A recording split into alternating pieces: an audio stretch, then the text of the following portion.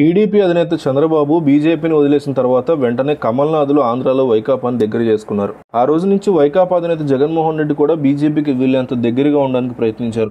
వైకాపాలో number టూగా చెప్పుకున్న విజయసాయి రెడ్డి అయితే ప్రధాన కార్యాలయంలో గడుపుతూ అలాగే బీజేపీతో సంబంధాలు బాగుండేలా చూసుకున్నారు ఇక రాష్ట్రానికి బీజేపీ ద్రోహం చేస్తున్నటువంటి ఏ రోజు కూడా వైకాపా నేతలు దాన్ని పెద్దగా పట్టించుకోలేదు. అదే అదనుగా బీజేపీ కూడా ఆంధ్రపై అనేక కుట్రలు చేసిందని అంటూ ఉంటారు టీడీపీ వాళ్ళు. ఇక ఎన్నికల్లో బీజేపీ వైకాపా మధ్య బంధం ఎంత బలంగా కొనసాగిందో అందరం చూసాం. రాష్ట్రంలో చంద్రబాబును ఓడించడమే లక్ష్యంగా బీజేపీ కూడా అన్ని రకాల ప్రయత్నాలు చేస్తోంది.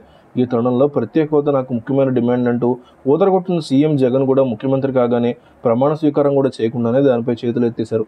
ప్రధానిని బీజేపీ చీఫ్ని కలిసిన తర్వాతే జగన్ ఇలా హోదాపై మాట మార్చడం ఆంధ్ర ప్రజల్లో కలకలం రేపింది. ఇలాంటి నేపథ్యంలో సిపిఐ జాతీయ నేత డాక్టర్ కె నారాయణ సంచలన వ్యాఖ్యలు చేశారు. కేంద్ర హోంమంత్రిగా పన్నెండు క్రిమినల్ కేసులను ముద్దాయినటువంటి అమిత్ షా నియమించి దేశంలో అప్రజాస్వామిక పాలనకి ప్రధాని మోడీ తెరతీశారు షాకి హోంశాఖ ఇవ్వడం అంటే చంబల్లోయలో దొంగకి బ్యాంకు తాణాలు ఇచ్చినట్లే. తమకు వచ్చిన మెజారిటీతో ప్రస్తుతం ప్రభుత్వం అభివృద్ధి వైపు కాకుండా కక్ష సాధింపులు మతరాజ్య స్థాపనల దిశగా అడుగులు వేస్తోందని సిపిఐ జాతీయ కార్యదర్శి నారాయణ పేర్కొన్నారు. రీసెంట్గా గుంటూరులో ఆయన విలేకరులతో మాట్లాడారు. కేంద్ర మంత్రుల్లో యాభై ఆరు మంది వందల కోట్లకు అధిపతులు. ఇరవై మందిపై క్రిమినల్ కేసులు ఉన్నాయి.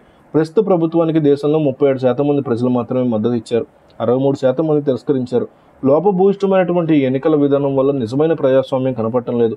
ఈవీఎంలో లోపాలున్నాయని అన్ని రాజకీయ పక్షాలు మొత్తుకుంటున్నా ఈసీ స్పందించకపోవడం అప్రజాస్వామికం. ప్రపంచవ్యాప్తంగా ఈవీఎంలను బ్యాన్ చేస్తుంటే మనం వాటి మీదే ఆధారపడటం ప్రజాస్వామ్యంపై ప్రజలకు నమ్మకం పోగొట్టడమే. ఆంధ్ర తెలంగాణ సీఎంలు జగన్ కేసీఆర్ బీజేపీతో స్నేహం చేయడం వారికే నష్టం. బీజేపీతో స్నేహం అంటే జగన్ పాముని మెడలో వేసుకుని తిరగడమే. జగన్ అనేక కష్టాలు ఎదుర్కొని ముఖ్యమంత్రి అయ్యారు. మంచి పరిపాలన అందిస్తే సహకరిస్తాం. అలా కాకుండా కక్ష సాధింపుల వైపు అడుగులు వేస్తే మాత్రం ప్రతిఘటిస్తామని నారాయణ హెచ్చరించారు.